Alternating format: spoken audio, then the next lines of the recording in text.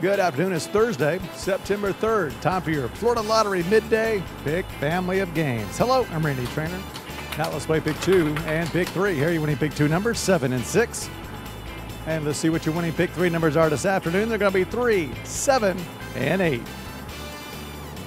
More than 800,000 students have attended college on a Bright Future Scholarship. The Florida Lottery. It's your ticket.